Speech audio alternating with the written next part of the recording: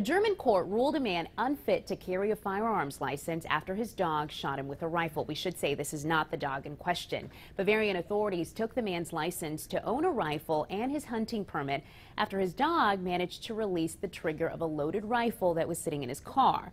The man was shot in the arm. He tried to appeal that decision, but the Munich Administrative Court dismissed it, ruling the hunter could not be relied upon, quote, because it must be assumed that he will handle firearms and ammunition carelessly in the future as well.